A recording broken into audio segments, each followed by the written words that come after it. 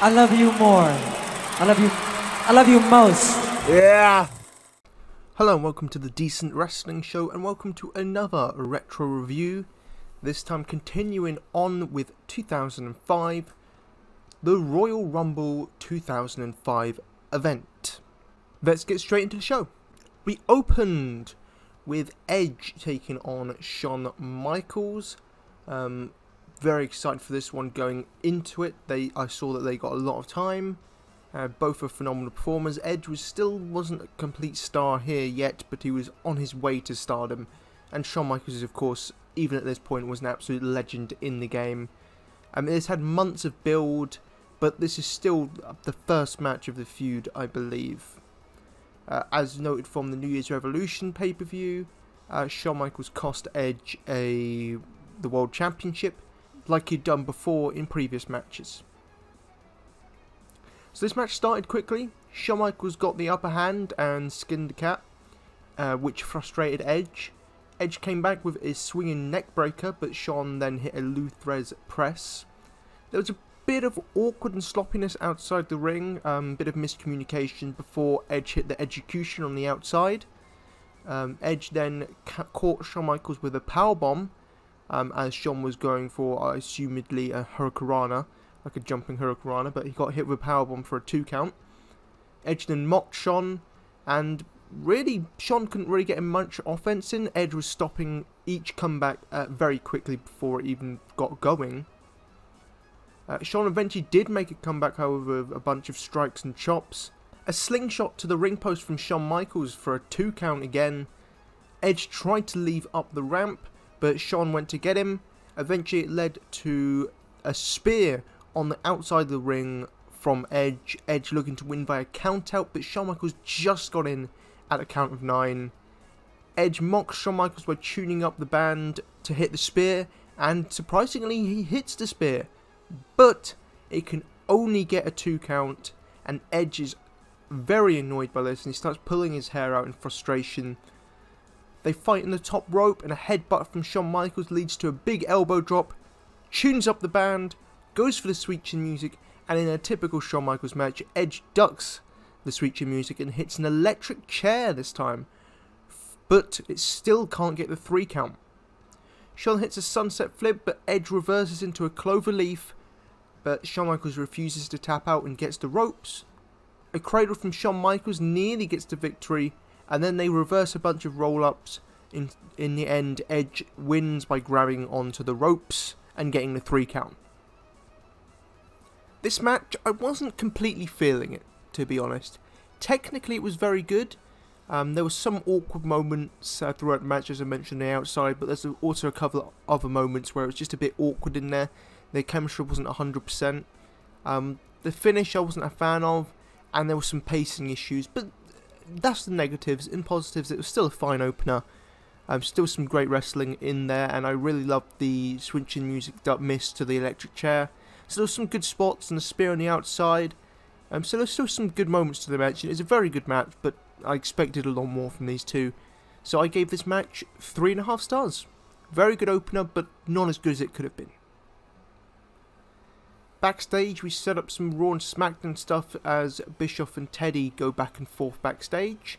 Um, Flair and Eddie come into the room to draw numbers. Oh, how I miss these segments. They should bring this back, drawing the numbers. It's just a, a nice way to fill out the show um, with some character development. Ric Flair is ecstatic with his number. Eddie, not so much. They hug, Flair and Eddie, and um, Eddie walks off and Flair, super happily, shows his number to everyone in the room, and then realises that Eddie has switched to them. so he's going to off to find Eddie. Heidenreich backstage, he hates caskets, and then we get an absolute goated segment with Snitsky and Heidenreich backstage, just breathing heavily and talking really slowly and this segment is so bad that it's absolutely amazing. So you have them going back and forth, you know. I like Eugene. I like you, John.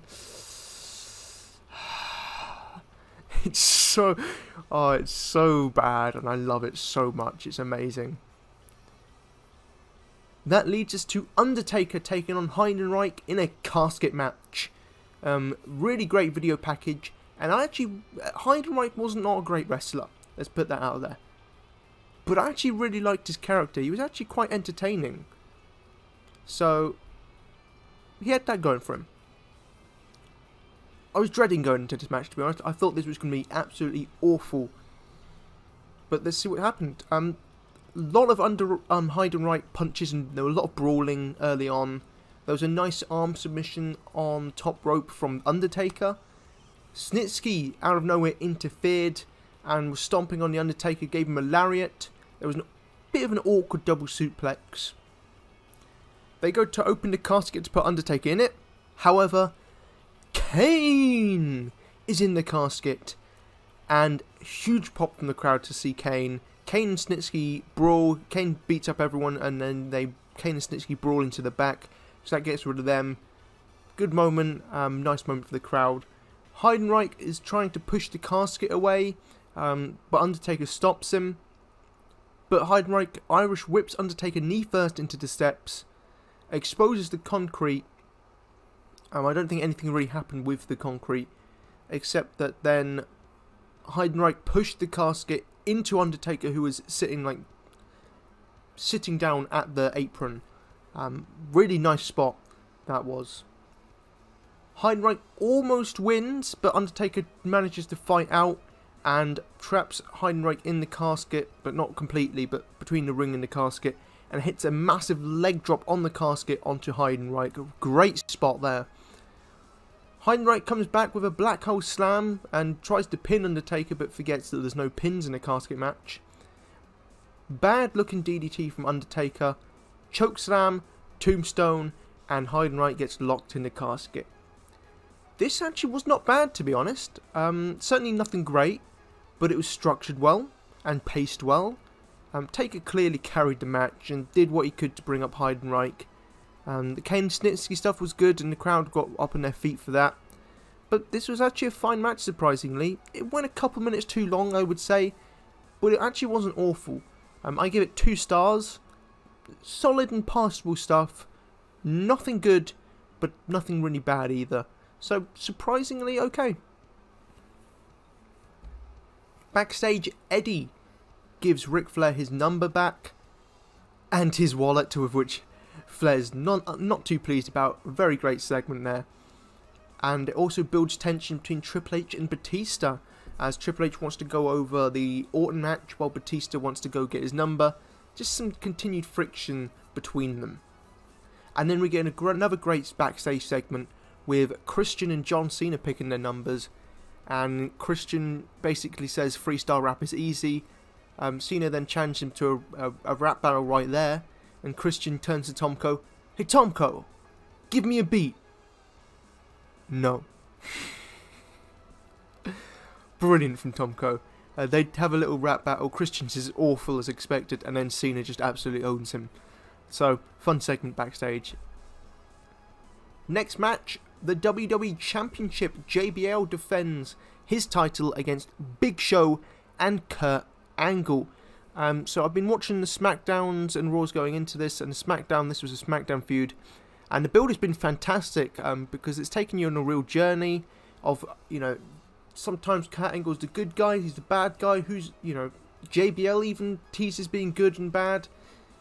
A lot of great um, moments leading up to this as all three are trying to get one up on each other and get the advantage going into um, the Royal Rumble Joy Giovanni's been involved in it, being well kidnapped at one point, um, which was actually a really good segment because um, so she was she was meant to have a match with Amy Weber, um, who was JBL's image consultant. She gets kidnapped. Every, obviously, everyone blames JBL for it, and Kurt Angle then like comes out and blames JBL for it, and then sees like the JBL's limo and like, oh, oh, my god, look, look what's in the boot. There's Joe Joy Giovanni in the boot.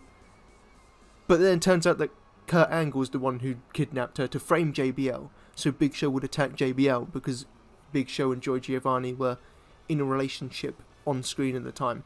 So I just really enjoyed the elements of good and bad guy, who's the good guy, who's the bad guy going into this, and I thought it was a really awesome build.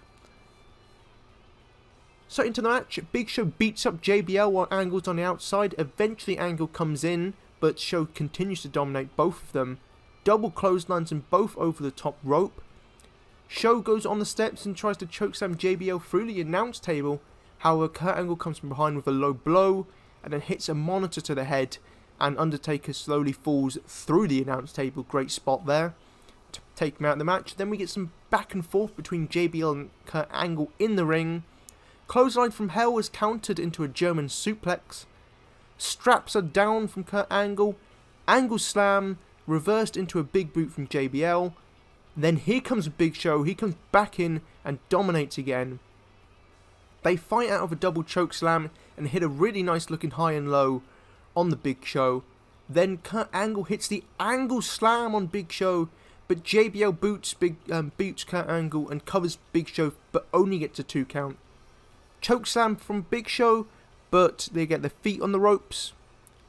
JBL and Show then go through the barricade um, in another great spot. So a lot of great spots in this match.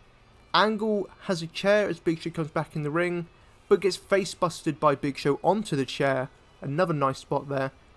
Mark Jindrak pulls out the referee um, with Luther Reigns um, throwing Big Show over the top rope. I believe these two men were associated with JBL at the time.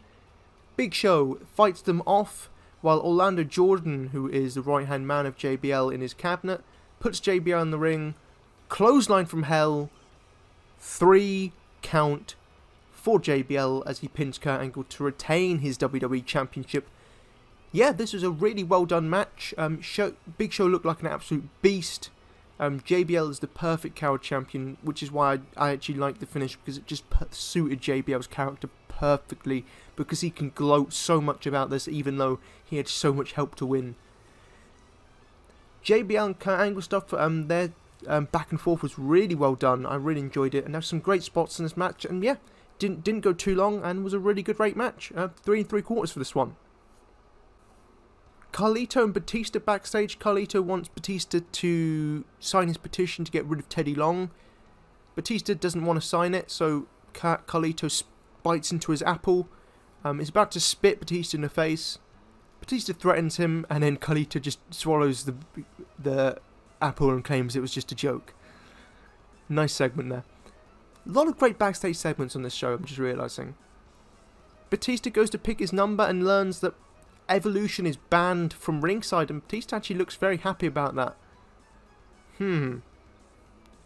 World Heavyweight Championship on the line. Triple H taking on Randy Orton.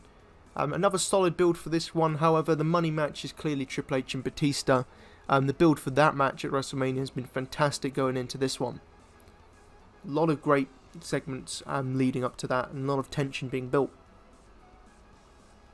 Um, one thing to note, I do really miss Randy Orton's Raining Pyro that he had. That looks so cool. More people need Raining Pyro, but it looks awesome. Very fast start in this match, and a big back body drop on Triple H. However, Triple H escapes an RKO, but later on, Randy goes for RKO again, but gets thrown over the top rope. Um, that would actually break Randy Orton's collarbone years later, that spot. Into the steps goes Randy Orton and Triple H but and Triple H dominates after a chop block and starts working the injured knee of Randy Orton.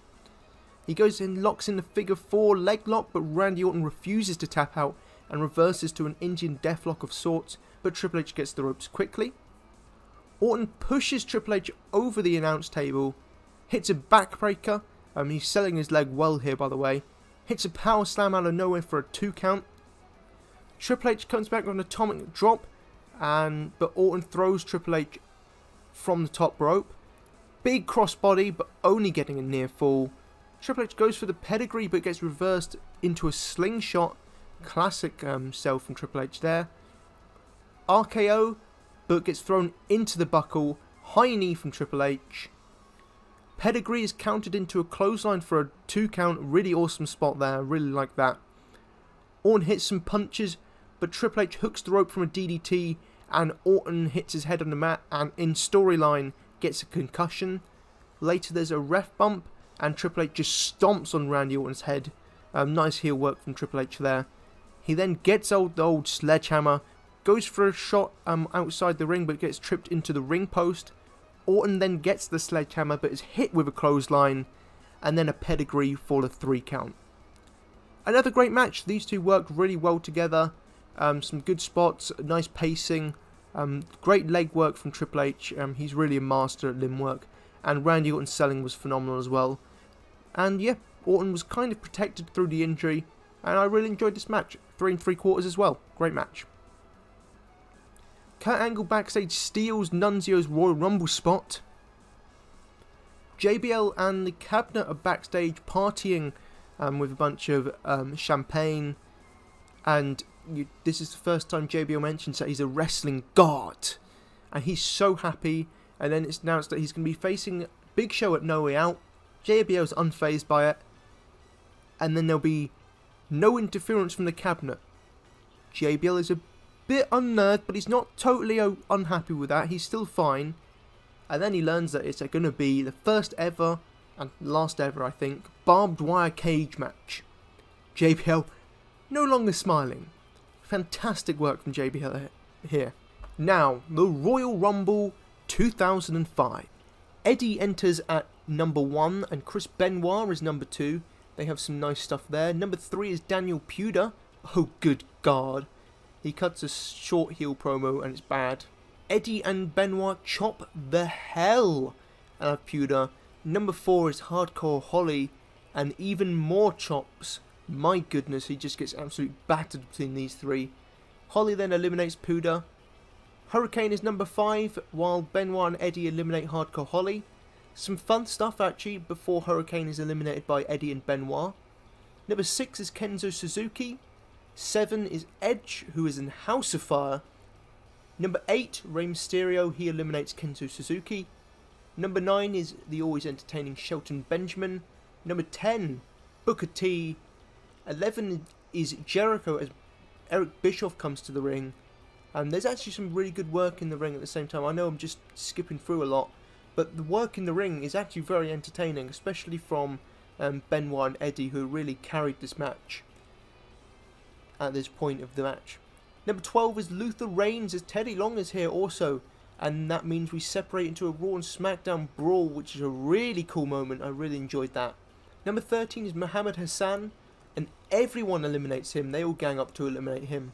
Um, no one likes Hassan, apparently. Number 14 is Orlando Jordan. Number 15 is Scotty 2 Hotty, but he can't get to the ring as Muhammad Hassan kills him, basically eliminating him from the match.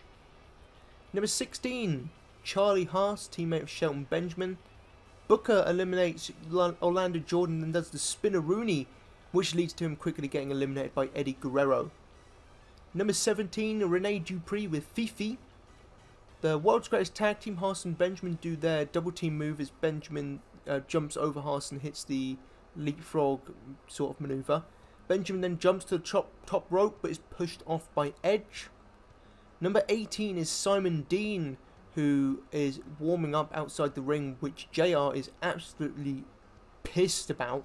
He's very unhappy with Simon Dean. He had all day to warm up, and he's still warming up out the ring. He was very got very worked up about that. Edge eliminates Eddie Guerrero, a fan favorite. A lot of boos for Edge. Great heel work there to get him to eliminate Ed, Eddie. Um, but a great Rumble Royal, Royal appearance from Eddie Guerrero in this match. He did great in his match. Number 19 is Shawn Michaels, who quickly eliminates Simon Dean and mocks him. He then eliminates Charlie Haas before number 20 is Kurt Angle, and he takes everyone to Suplex City before there was a Suplex City. Angle Slam, however, is reversed, and a sweet chin music, and Kurt Angle is out. He wasn't in there for a long time, but he definitely um, had a great impact in there. Number 21 is Jonathan Coachman, of all people. He punches Chris Benoit in the back and runs away and holds onto the ropes. Number 22 is Mark Jindrak. At this time, Kurt Angle comes out and attacks and eliminates Shawn Michaels and hits him with the steps, blooding him, locking him in an ankle lock, setting up their match and feud for WrestleMania. Number 23 is Viscera with his absolutely abysmal theme song. Number 24 is Paul London with his weird entrance. Rene Dupree with the French tickle move. Um, he gets eliminated, which Taz was great on his I'm a French guy and a French tickle. He gets eliminated by Chris Jericho, who then mocks him. Taz with a great line about Jericho. That guy can't dance or sing. Number 25 is John Cena. He eliminates Viscera in a big moment. Number 26 is Snitsky. Um, Snitsky with the famous Paul London elimination where Paul London does a backflip. Number 27 is Kane. He's a house on fire, no pun intended. Chokeslam City. Kane eliminates Mark Jindrak. Number 28 is Batista.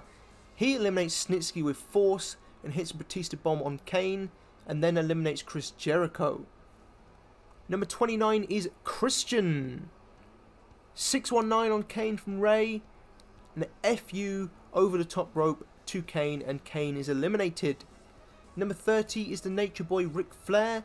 Evolution take over and Flair eliminates Jonathan Coachman while Batista eliminates Christian. They then both eliminate Chris Benoit before Flair tries to eliminate Batista and then play it off as a joke. Before Batista can kill Flair, Rey and Cena save him. But then Edge eliminates Ric Flair.